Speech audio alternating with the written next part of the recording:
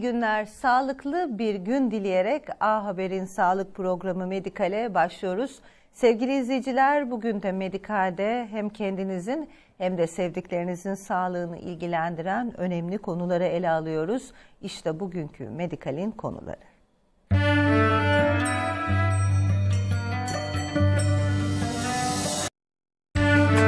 Medikal bu hafta güvenli annelik konusunu ele alıyor.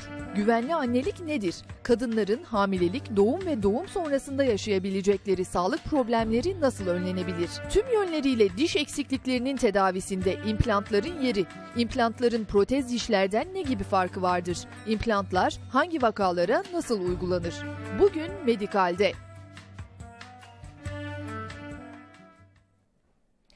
Sevgili izleyiciler, Medikal'in bu bölümünde güvenli annelik konusunu ele alacağız.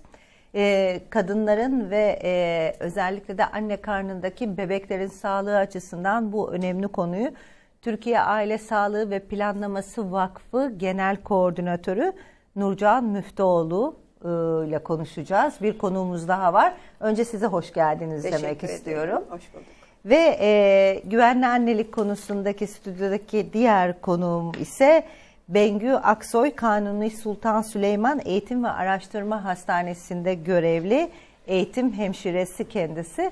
Siz de hoş geldiniz. Sağ olun. Sevgili izleyiciler sizler de güvenli annelik konusunda merak ettiğiniz sorular varsa medikal.ahaber.com.tr adresinden sorularınızı bize ulaştırabilirsiniz. Evet, e, önce Nurcan Hanım sizle başlamak istiyorum ben. E, Türkiye'de isterseniz yıllardan beri Türkiye Aile Sağlığı ve Planlaması Vakfı kadın sağlığı konusunda, e, anne bebek sağlığı konusunda çok da değerli çalışmalara imza atıyor. E, Türkiye'de şu an anne bebek e, sağlığı açısından e, ne durumdayız? Anne bebek ölüm oranlarında tüm dünya ülkeleri arasında nasıl bir konumdayız? Ee, son yıllarda aslında hep iyiye doğru giden bir akış var bu konuda. Ee, şöyle söyleyeyim yani 20. yüzyılın sonlarında anne ölüm anne ve bebek ölüm oranları Türkiye'de Türkiye'nin gelişim hızına yakışmayacak kadar yani ekonomik e, göstergelerle e, yarın yan yana duramayacak kadar olumsuz bir çizgideydi. Ama e, özellikle hani Sağlık Bakanlığı'nın bunu ulusal bir politika haline getirmesiyle, üreme sağlığı programlarıyla e, bu konuda çok önemli yol kat etti. Bir hani genel bir fikir vermesi açısından şunu paylaşayım sizinle. Biliyorsunuz ülkemizde ne yazık ki kadınına ilişkin göstergeler çok olumsuz. Yani bütün dünya e, ülkeleri sıralamasında Türkiye toplumsal cinsiyet ve kadın göstergeleri arasında her zaman böyle 110-120. sıralarda yer alır. Ortalamada böyledir. Ama mesela sağlık göstergelerinde ki anne ölüm oranı çok ağırlıklı bir belirleyicidir. E, 60. sırada. Dolayısıyla biz anne ölümlerini önleme konusunda ve bebek ölümlerini önleme konusunda çok olumlu ve hızlı bir yol kat ediyoruz. E, artık Türkiye'de eğitimde olduğu gibi sağlıkta da daha nitelik odaklı çalışmak ve iyiye götürmek zorundayız. Evet önemli bir yol kat ettik ama hala gelişmiş ülkelerle e, kıyasladığınızda gitmemiz gereken bir yol var. Size döneyim o zaman. İsterseniz güvenli annelik bugünkü programımızın e, zaten konusu. Evet. Güvenli annelik nedir? E, hangi süreçleri kapsar kadınla ilgili? Annelik deyince sanki sadece e, hani çocuk olduktan sonraki süreci mi kapsıyor yoksa daha hamilelik öncesinden başlayan bir dönemi de mi kapsıyor? Evet, güvenli annelik e, kişinin hamile kaldığı andan itibaren başlar. Bebeği bir yaşına gelinceye kadar hem kendi öz sağlığı hem bebeğinin bakımı ve sağlığını kapsayan bir süreçtir. Hatta şöyle de genişletebiliriz. Kişinin hamile kalma isteğiyle birlikte başlıyor demek çok daha doğru olacaktır. E, Türkiye Aile Sağlığı ve Planlaması Vakfı'nın e, başlattığı güvenli annelik e, projesi. Nasıl bir projedir bu? İlk e, ne zaman start aldı? Proje neyi amaçladı ve neler yapılıyor proje Evet. kapsamında? Şimdi e, vakfımız aslında 27 yıldır bu alanda anne çocuk alanında çalışan bir sivil toplum kuruluşu. Ama 90'lı yıllarla birlikte biz güvenli annelik kavramını Türkiye'de kullanmaya başladık ve o noktada da e, dedik ki hani bu e, gayretin ve hedefin içinde biz kendimize nasıl bir konum bulalım. Güvenli annelikteki sorun alanları nedir? O sorun alanlarını inceledikten sonra e, birkaç öncelik tanımladık. Bir tanesi e, anne bebek sağlığını iyiye götürmek için ülkede desteklenmesi gereken konulardan bir tanesi doğum öncesi bakım.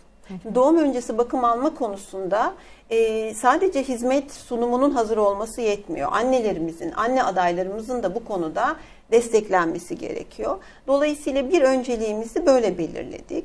Ee, özellikle belli e, coğrafi bölgelerde sağlık hizmet kullanımına yönelik tereddütlerin olduğu, direncin olduğu, gereksinim olarak tanımlanmadığı noktalarda alan çalışmalarıyla, ev ziyaretleriyle gebeleri bilgilendirip onları sağlık hizmet kullanımına yönlendirmek. Bir alanı, çalışma alanımız buydu.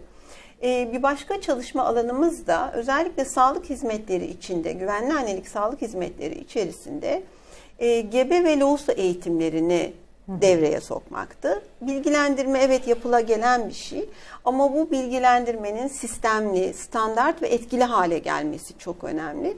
Dolayısıyla biz e, 2000'li yılların ortalarından itibaren böyle bir program e, geliştirmeye başladık.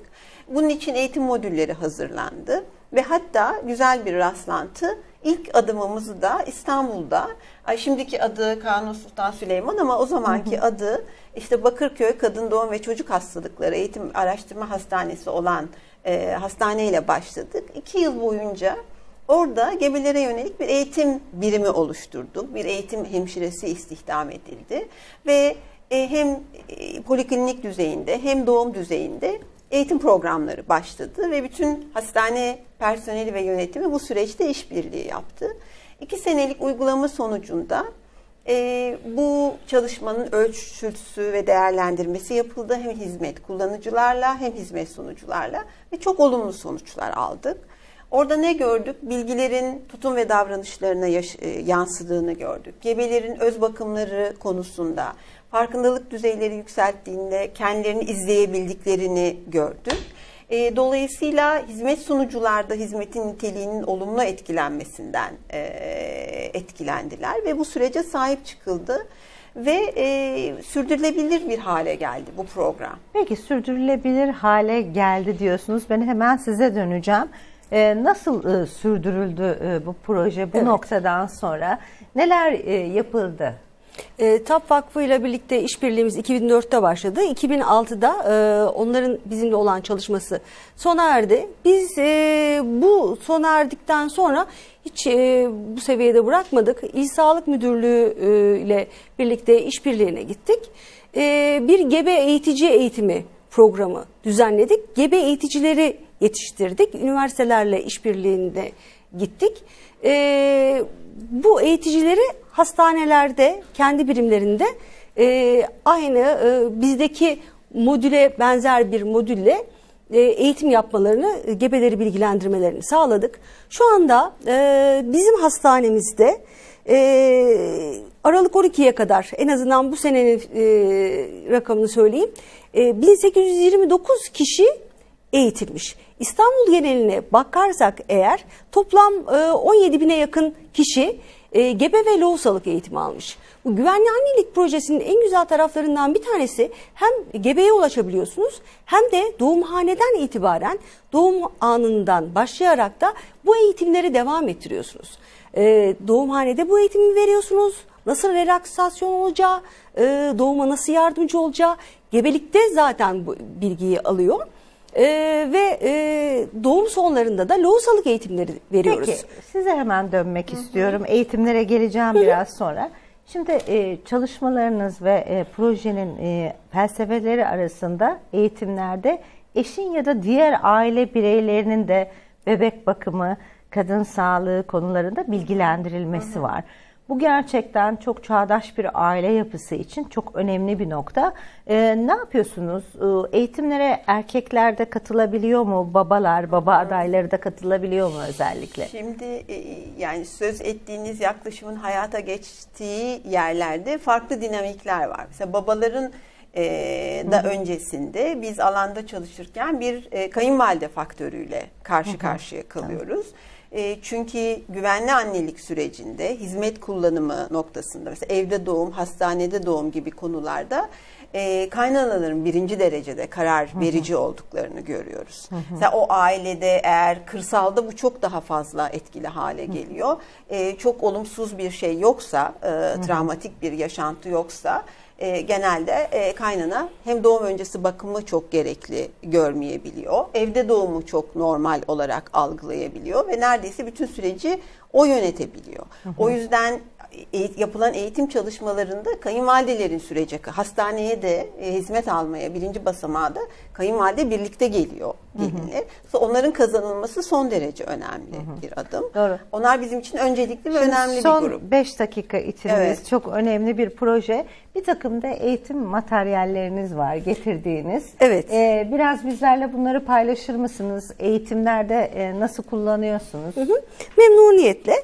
Ee, biz İstanbul İl Sağlık Müdürlüğü ve hastanemiz olarak e, bu şekilde e, kitapçıklar oluşturduk. Bu kitapçıkları İl Sağlık Müdürlüğü'nün web sayfasında bulabilirler. Ee, aynı şekilde diğer e, kadın doğum kliniklerinin olduğu tüm hastanelerde bunlar e, bulunabiliyor. Bunun haricinde e, eğitimlerimizi, gebe eğitimlerimizi tamamlayan e, gebelerimize biz bu şekilde diploma veriyoruz. Peki ne kadarlık bir eğitimdir? Bir Ee, e, çeşitli eğitim? modüllere ayrılıyor. Ee, gebelik ve beslenme, doğum ve nefes egzersizleri, emzirme ve bebek bakımını e, içeren bir gebelik eğitimi veriyoruz. Ve eğitimi alan e, gebelerimize üzerinde bilgili anne, sağlıklı bebek yazan bu e, bilezikleri veriyoruz ve hastaneye doğum için geldiği zaman koluna takmasını rica ediyoruz. Bunu taktığı zaman aynı zamanda pe- sağlık personeli için de çok iyi oluyor. E, sen bizim eğitimimizden geçmişsin diyerek e, diğer hastalarla etkileşimde bulunuyor. Son 3 Nefesini- dakika içindeyiz. Biraz e, daha diğerlerini toparlayabilirsek. Evet, nefes tekniklerini e, falan e, gayet güzel e, e, diğer hastalarla da iletişim halinde aktarabiliyor. Bir de bebek maketiniz var. Bir herhalde e, anneye emzirme tekniği için e, maketleriniz var değil evet, mi? Evet. Yani Evet. eğitim mater programlarının materyallerle desteklenmesi Tabii. çok önemli. O nedenle burada gördüğünüz gibi emzirme eğitiminde kullandığımız e, materyaller var. Artı bir mesela rahim modelimiz var. Bunun içerisinde bebeğin e, küçük bir bebek şey görüyorsunuz. E, burada e, nasıl plazanta içinde e, bebek büyüyor, doğum olayı nasıl oluyor? Bütün bunları aynı şekilde işte atlaslarla bilgilendirme yapma noktasında bütün bunları materyallerle desteklenmesi özellikle eğitim düzeyi düşük kadınlar açısından çok Tabii. önemli. Halkın sağlık eğitiminde gerçekten insanın öncelikle kendi bedenini tanıması, kendi organlarının e, fonksiyonunu bilmesi ve e, hamilelik gibi süreçlerinde dediğiniz gibi nasıl oluştuğunu bilmeleri çok önemli.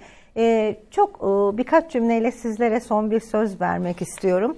E, özellikle e, ekran başında bizi izleyen ve hamilelik hamile kalmak isteyen anne adaylarına e, neler önermek istersiniz? Hem ileride oluşabilecek bir hamilelikte hem kendi sağlıkları hem de bebeklerinin sağlığı açısından. İkinize de bu soruyu soracağım. Mesajlarınızı rica Yani edeceğim. daha önce söylendiği gibi gebelik kararı ile birlikte başlayan bir süreç. Dolayısıyla bu karar verdiklerinde sağlık hizmetine ilk adımı atmaları son derece önemli.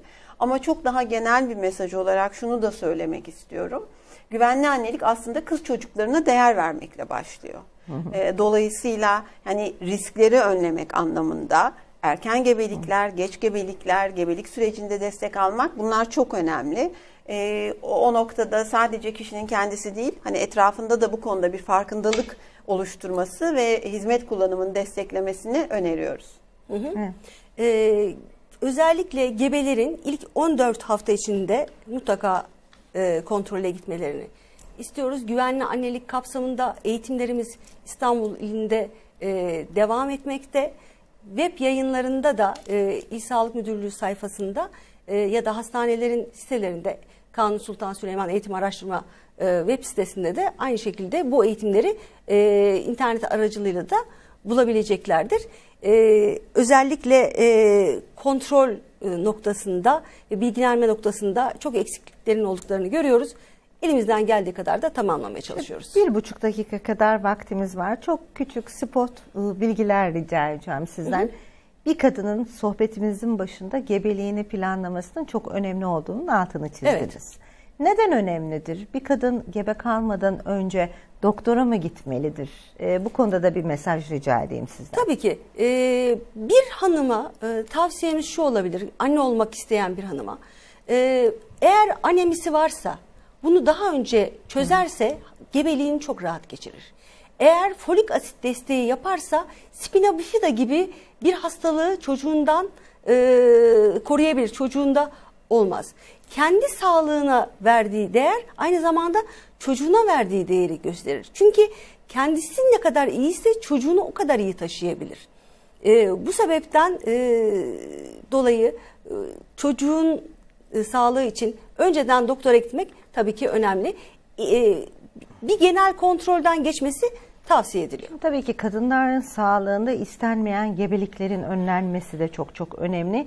İstenmeyen gebeliklerin önlenmesinde etkili güvenilir aile planlaması yöntemleri de herhalde kullanılması, yaygınlaştırılması önemli. Bu konuda e, ailelere sadece kadınlara demeyeceğim. Çünkü aile planlamasının sorumluluğu kadın ve erkeğin omuzlarında olmalı. E, son bir mesajınızı rica edeyim Tabii ki ilgili. güvenli hamlenin e, amaçlarından bir tanesi de e, bireylerin, ailelerin istedikleri zaman, istedikleri sayıda çocuk sahibi olmasıdır. Bu sebepten dolayı da aile planlaması yöntemlerine başvurabilirler. Aile planlaması yöntemleri için polikliniklerimize ve sağlık müdürlüklerine bağlı e, sağlık ocaklarına başvurabilirler. Ben her ikinize de çok teşekkür ediyorum. teşekkür ederiz. Gerçekten e, kadın sağlığı ve bebek sağlığı açısından çok önemli bir proje. Bu projeye de emeğinizi veren, çabalarınızı veren sizlere ve çalışma arkadaşlarınızı da tebrik ediyoruz bu yüzden. Teşekkür. Teşekkür ederiz. Sevgili izleyiciler, Medikal devam ediyor. Şimdi sırada sağlık bültenimiz var. Tüm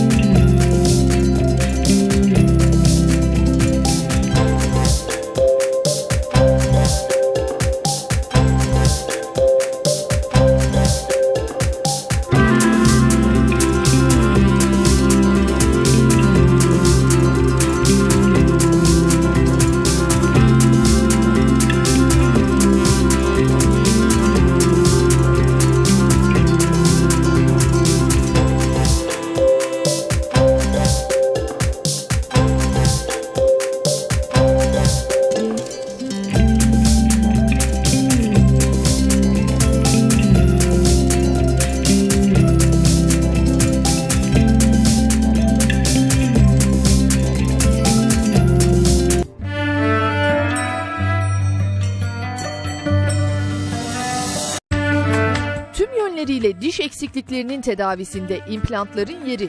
İmplantların protez dişlerden ne gibi farkı vardır? İmplantlar hangi vakalara nasıl uygulanır? Bugün Medikal'de